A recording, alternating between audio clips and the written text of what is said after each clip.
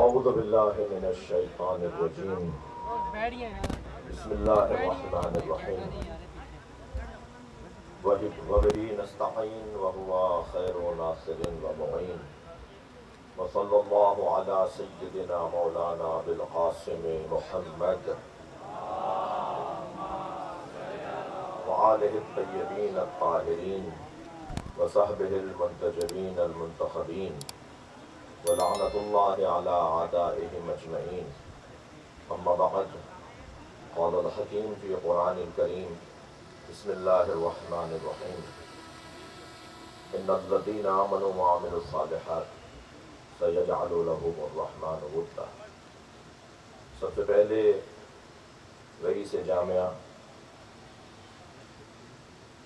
उनके हमरा तालब इल्मों के अमूर की तदबीर के शोबे के सरबराह।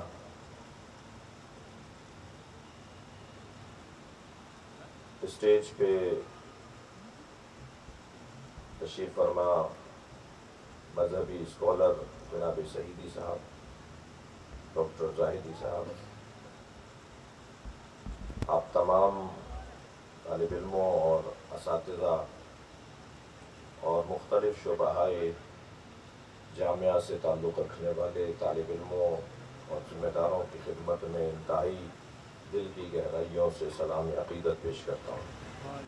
आज हम इस नूरानी और इस बामाना बामकसद इज्तम में किसी मकसद की वजह से शरीक हुए और वो मकसद खूबियों का मजमु महासिन का इज्तम और अंजुमन कमालात इमाम हुसैन की ज़ात पर गौर और आपकी शख्सियत से इस्तफ़ादा।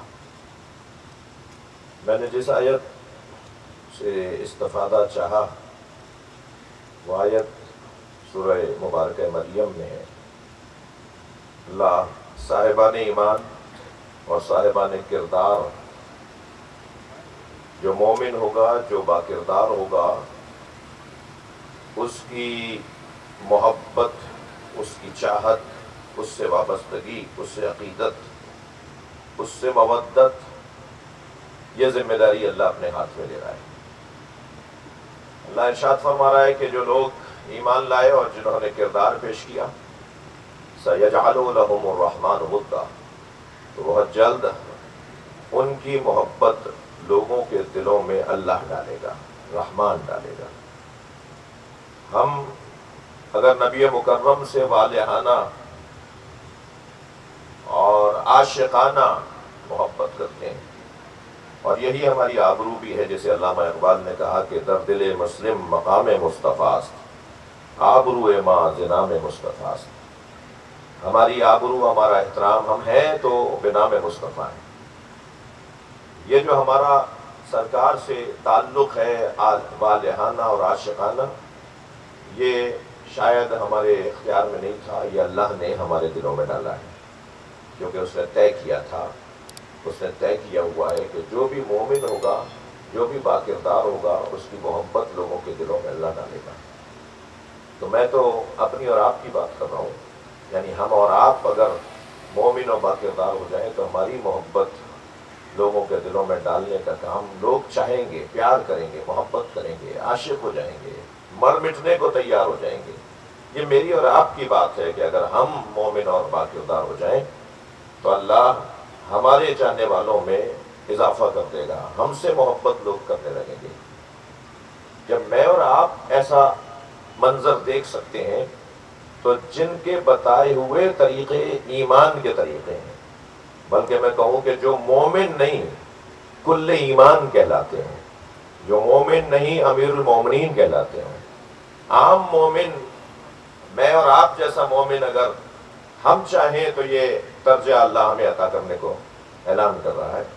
बात हो रही है उस घराने की, जमा है हम उस घराने के लिए, उस हस्ती के लिए कि जिनका नाम ईमान या मोमिन होने के साथ नहीं, बल्कि कुल ईमान, खुद ईमान जा नहीं जा इल्म जा मोमिन नहीं जा ईमान यानी हम जब बात करेंगे तो कहेंगे कि मोमिन नहीं, खुद ईमान आ गया। ये वो घराना जिनको खुद कुल ईमान करार दिया पैगंबर ने। एक ऐसी जंग में ये जिस जंग में अली जा रहे हैं तो कुल ईमान बन के जा रहे हैं। जरबत अली अगर मार रहे हैं तो जरबत अली इन योमल अब्दलो मिन इबादत सकलैन सरकार ने फरमाया, अली के जिहाद में, अस्सी जंगों में एक जंग की एक जरबत सकलैन की इबादत पर गालिब है। तो फिर अली का सजदा किस दर्जे का होगा? अली का रोजा किस दर्जे का होगा? ये तो जिहाद में चली हुई तलवार की ये फजीलत है। तो बात आम मोमिनों के लिए अल्लाह ने रास्ता खोला है, ये तो बात कुल ईमान की हो रही है। किरदार का आलम ये कि, ये बताएँगे कि किरदार किसे कहते हैं। मौला अली के दरवाज़ा, मौला अली का दरवाज़ा सबके लिए खुला होता था। मैं अली के चाहने वालों से, अपने आप से ये वाज करूँगा, नसीहत करूँगा कि तंग नजरी घुटन और गैरियत और दूरियत, ये अली मौला से मोहब्बत करने वालों का शेवा नहीं है। अपना दरवाज़ा सबके लिए खुला रखिए, प्यार बांटिए, कभी मुस्कुरा के भी बात कर लिया करें। बाज़ात शायद हमारी नमाज़ से ज़्यादा हमें सवाब किसी परेशान को मुस्कुरा के देखने में मिल जाए। रस्ते का पत्थर हटा देना, बहुत सारी इबादतों से शायद भारी इबादत बन जाए। मौला के दरवाजे पे सब बैठे होते थे, सब आते थे। मैं एक कॉल मौला अली का जनाब सईदी साहब पढ़ दिया करूँगा और आपका पढ़ावाऊँगा मौला फरमाते लो सुन्नीता अगर मुझे अली के लिए मसनत कजावत को बिछा दिया जाए, लफ्ताह तो आला तौरात में तौराते हिम व अहला इंजील बे इंजील हिम व अहला ज़बूर बे ज़बूर हिम व अहला कुरान बे कुरान हिम मैं अली अगर मुझे ये मौका मिल जाए कि मैं कजावत करूँ, फैसले करूँ और मुझे काजी बना दिया जाए तो मैं तौरात वालों के फैसले तौरात के मुताबिक, इंजील वालों के फैसले इंजील के मुताबिक, जबूर वालों के फैसले जबूर के मुताबिक, कुरान वालों के फैसले कुरान के मुताबिक और फिर तौरात, जबूर, इंजील और कुरान पुकार कर कहेंगे जो फैसला अली ने किया है, वही हमारा है।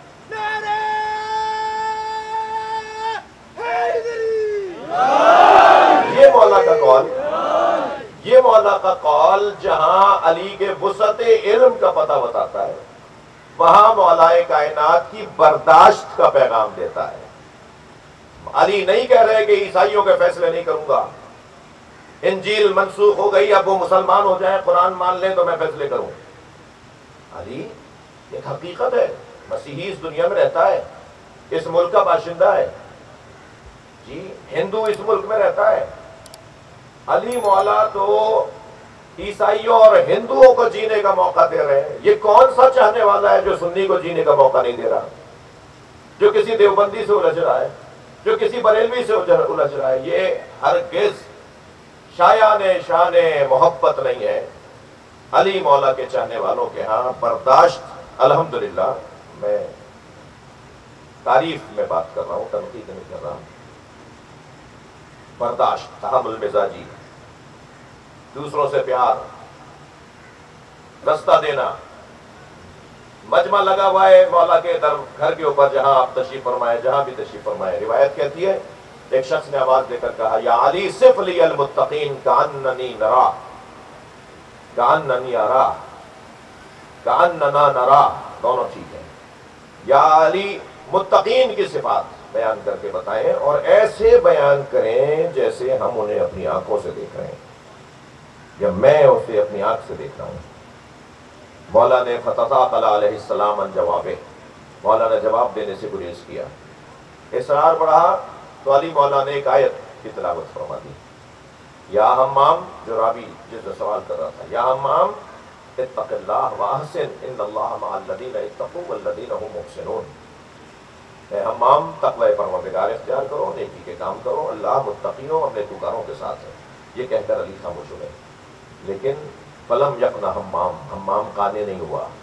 जो पूछ रहा था ना हमाम इबन उबादा, इसरार कर रहे मौला बताए मौला बताए। तो मौला अली ने एक सौ दस सिफतें मुतकीन की बयान फरमाई। शाहकार खुतबा है अली का। अदबी अरबी अरबी अदब का शाहकार खुतबा है। एक मसीही ने, मैं मकाला पढ़ रहा था, एक गैर मुस्लिम ने, एक गैर मुस्लिम ने मौला के इस मकाले को इस मौला के खुतबे को पढ़कर कहा कि एक एक लफ्ज ऐसा है जिसमें सेमिनार होना चाहिए। और वो कहता है कि मुझे अल, अली का कलाम पढ़ पढ़ कर एहसास हो रहा है कि ये कितनी गहरी इल्मी शख्सियत है जिसे अली कहा जाता है।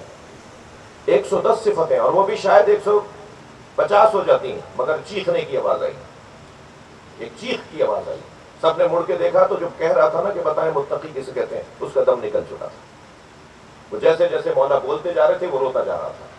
और इतना असर लिया उसने मौला के इस खुतबे का कि उसका दम निकल गया। मौला उसके करीब आए, मैयत के करीब आए और फरमाया इन अखाफ हाल है, मुझे इसी बात का खौफ था। ये मेरे कौल को, मेरे मेरे बात को बर्दाश्त नहीं कर पाएगा। मुझे कुरान कह रहा है ना इदा अलहिम आयातों का आदत हम ईमाना। जब उनके सामने कुरान की तिलावत की जाती है तो उनका ईमान बढ़ने लगता है। वजलत खुलूब हो उनका दिल दहलने लगता है, धड़कने बढ़ना शुरू हो जाती है। ये वो वाकदार लोगों की बात, मेरी और आपकी बात होगी अगर हम हो जाए तो। वो लोग हैं जो किरदार का निसाब बनाते हैं कि किरदार कैसे बनेगा, इंसान कैसे बनेगा। करबला मजमुआ है खूबियों का। उन खूबियों में एक खूबी इल्म है। मेरी इज़्ज़त में इजाफा है कि मैं शेखुल जामिया के होते हुए और कराम और तालब इल्मों के और इस के होते हुए बात कर रहा हूँ। इल्म इल्म, सबसे बड़ी चीज़, सब कुछ अगर है तो वो इल्म है। मैं इन बच्चों से, जवानों से, अपनी बच्चियों से, बहनों से, बेटियों से कहूँगा कि आपकी कोई भी बुराई बयान की जाए, वो काबिल समात हो सकती है। मगर आपकी ये बुराई काबिल समात नहीं है कि पढ़ाई में कोई कमज़ोर है। कारनामा करके दिखाएँ, हुनर करके दिखाएँ। जामिया का नाम बुलंद होगा, आपकी शख्सियत बुलंद होगी, मुल्क का भला होगा, मुस्तकबिल बेहतर होगा, पाकिस्तान और अच्छा होगा। तालीम, इल्म, इस घराने का, करबला का एक रोशन पैगाम इल्म। इतनी बड़ी यूनिवर्सिटी जिसमें चालीस हज़ार से ज़्यादा तालब इल्म हो, जिससे जुड़े हुए इदारों से मैं लाखों की तादाद में तालब इल्म हूँ। शायद मुझे, मैं नहीं पूछ सका कई से जामिया से, शेखुल जामिया से कि शायद पाकिस्तान की यूनिवर्सिटी दुनिया की तादाद के हिसाब से कौन सी यूनिवर्सिटीज कौन से नंबर पर आती है? यकीनन आगे के नंबरों पर आती है। इतनी बड़ी, इतना बड़ा इसका दिल है, इतनी बड़ी इसके पास गुंजाइश है। मगर वसाइल, माली बहरान जो पूरे मुल्क में है, मैं अपने तरफ़ से ये कह रहा हूँ कि इस जामिया से जुड़े हुई शख्सियात जो पूरी दुनिया में बड़ी हैसियतों वाले लोग हैं, वो ये नहीं देखें कि ये गवर्नमेंट ताउन करेगी तो ये हो और वो हो, आप अपना हिस्सा भी डालिए। आप अपना हिस्सा भी कराची यूनिवर्सिटी की तालीम के लिए, यहाँ की इमारतों के लिए, यहाँ के शोबों के लिए, यहाँ के मसाइल के हल के लिए, मैं पूरी दुनिया में ये बहुत सी जगह देखा जा रही है आज का ये इज्तम। अपील करूँगा कि कराची यूनिवर्सिटी के साथ माली ताउन किया जाए, ताकि और ये बेहतर हो, और शोबे बने। एल्म करबला का एक उनवान है, एक फजीलत और बड़ी फजीलत। दलील दूँ? इमाम हुसैन ने सिर्फ़ एक शख्सियत को खत लिख कर बुलाया है। और उस शख्सियत को जिसे बुलाया है, उसे बुलाया है जिसको इमाम ने फ़कीह कहकर लिखा, यानी आलिम को, दानिश्वर को बुलाया है। शायद कभी तारीख का कलम फरोश कलम फरोश तारीख दान ये लिख देता कि हुसैन के साथ लोग इसलिए थे कि बनी हाशिम है, इनको जीतना तो था, ये तो हुकूमत बनाते, लिहाजा इसलिए भी लोग आए होंगे। लेकिन इमाम ने ये लिख दिया कि नहीं, मेरे साथ फ़कीह पढ़े लिखे लोग हैं। इला रज, इला हबीब इब्न मदाहिर रजुल फकीह, इला हबीब इब्न मदाहिर, एक मर्द फकीह, एक दानिश्वर को मैं बुला रहा हूँ। नहीं लिखते इमाम, ना लिखते ये रजुल फ़की एक मर्द इल्म, रजुल फ़की का तर्जुमा मैं करूँगा, एक मर्द इल्म। मैं एक मर्द इल्म को बुला रहा हूँ करबला में, और वो आए और आके शहीद हुए। इमाम के खत के बाद वो कूफे से इमाम के लिए आए और इमाम के साथ करबला में शहीद हो गए। करबला का एक पैगाम और बड़ा रोशन पैगाम इल्म है। करबला का दूसरा पैगाम बर्दाश्त है तहमुल मिजाजी। उस्मानी अकीदा शहीद भी हैं करबला में, मसीही खानदानों के शहीद भी हैं करबला में। और फिर इमाम हुसैन ने ये कह कर कि अगर मुझे मौका मिला होता तो मैं हिंदुस्तान चला जाता, हिंदुओं को भी अपना कर लिया। पूरी दुनिया के मसीही। जी, अभी पिछले दिनों, बल्कि अक्सर आप देख चुके होंगे कि मुख्तलिफ़ ममालिक के चर्च इन दस दिनों में इमाम हुसैन की याद का इंतज़ाम करते हैं। सब जुड़े हुए हैं, इंसानी मसला है। अच्छा इमाम ने जो तीन बातें की बुनियाद पर कहा ना कि मैं उसकी बेहतर नहीं करूँगा, वो मसले सारे इंसानी कदरों के हैं। फिकी मसले नहीं है। नमाज़ की बात नहीं कर रहे इमाम। नमाज़ वहाँ भी पढ़ी जा रही थी नमाज़ यहाँ भी। इमाम ने वो कदरों की, तहजीब की बात की है। इंसानी कदरों की पामाली है, जिसका दूसरा नाम यजीद है। यजीद यानी इंसानी कदरों की पामाली, और हुसैन यानी इंसानी अकदार की बहाली। हमारे शारिबुल खामरा। बताइए। पहला जुमला हज़रत ने फरमाया, वो शराब पीता है। कौन सा दीन है जिसमें शराब जायज़ है? हिंदुओं के जायज़ है? हिंदू पीता होगा। तो वो मुसलमान भी पीता है, गलत करता है, हराम काम करता है। मगर कौन सा? मसीहियों के जायज़ है। किसी भी दीन धर्म में शराब पीना जायज़ नहीं है। इमाम फरमा रहे वो शराब पीता है। शराब यानी अकल का सवाल, अकल का जायल हो जाना, तहजीब का मिट जाना। वो अपने आपे में ही नहीं होता, उसे पता ही नहीं होता, मैं क्या बोल रहा हूँ, कहाँ जा रहा हूँ, किसकी तरफ़ बढ़ रहा हूँ, कहाँ से हट रहा हूँ। यानी एक एक बजाहिर एक मशरूब है, मगर वो माशरे की तबाही का सबब है, वो समाज की बर्बादी का सबब है। लिहाजा हज़रत ने, वो अशार खामरा तो शराब पीता है अलनी गुनाह करता है। अब ये अलनी गुनाह, मसलन कौन शियों को क्या मानता है और कौन शिया किस सुन्नी को क्या मानता है? बहुत सारे लोग किसी को क्या मानते हैं और किसी को क्या मानते हैं? मगर जब चौकिंग होती है, जब नारे लगते हैं उससे माहौल खराब होता है। उससे किसी का कोई नुकसान नहीं होता, सबका नुकसान होता है। आप आग जलाओगे तो आग की तपिश आप पर भी पहुंचेगी। इमाम फरमा रहे ये अलनी गुना करता है अलनी काम करना, जो काम मतलब बंद कमरे में अल्लाह जाने और ये बंदा जाने। पर्दे के पीछे ये जाने और इसका रब जाने। मगर जब ये पर्दे के बाहर आकर मजमे में, चौक पे खड़े होकर वही काम करेगा तो फिर उससे माशरे में फसाद फैलेगा। तो माशरे का फसाद इज्तमाही नुकसान वो किसी तौर भी अल्लाह के नुमाइंदे को पसंद नहीं है। फरमाते हैं मोहलिन बिल फेस का फिर फरमाते हैं कातिल नफ्स मोहतरमा, बिला जुर्म, बिला कता बिला वजह लोगों को कत्ल करते ना इससे माशरे में फसाद मिलेगा। मिसिंग पर्सन के मसाइल। कि काउंटर करके मार देना। मावर आय, अदालत कत्ल कर देना। कहीं भी जायज़ नहीं है, कहीं भी नहीं हो सकता, कहीं भी नहीं होना चाहिए। और ये है वो जो इमाम हुसैन ने मसला उठाया और इमाम ने, और फिर फरमाया मिथली क्या हसीन जुमला है, कुर्बान जाए नबी के इस अज़ीज़ बच्चे फर्जंद इमाम हुसैन के नाम नामी पर। फरमाते हैं, मिसली ला युबायो मिसला, मुझ जैसा, नहीं कहा कि मैं, फरमाया, मुझ जैसा उस जैसे की बैत नहीं कर सकता। तहरीक बना दिया एक तहरीक शुरू कर दी यानी ये मेरा मसला नहीं है, तुम्हारा भी है। मेरे जमाने तक महदूद न रहना या आगे भी आएँगे मसले। हर जमाने के अंदर कोई हुसैन का पैरोकार भी रहेगा और यजीद सिफत लोग भी रहेंगे। लिहाजा बुराइयों के खिलाफ जाने की बात की इमाम हुसैन ने। अकदार की बहाली की बात की इमाम हुसैन ने। तहजीब की बहाली की बात की। मेरे अजीजों, मेरे बच्चों, जवानों पाकिस्तान के मुस्तबिल और होनहार मुस्तबिल मैं आपसे गुजारिश करूँगा कि ये वो तालीमत हैं इमाम हुसैन की, जिन पर अमल ही हमारी निजात का ज़रिया है। हम अगर इस पर अमल करेंगे तो हमारा फ़ायदा है।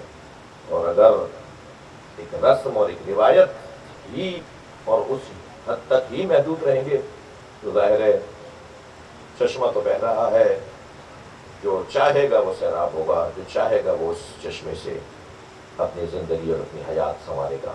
अल्लाह हम सबको इन बातों पर अमल करने की तोफ़ी अता फरमाए। इस इदारे की तरक्की के लिए इस की तोानाई के लिए, माली और इलाकई मसाइल के हल के लिए नबी और आल नबी पर मिलकर आवाज़ बुलंद सलवात करते हैं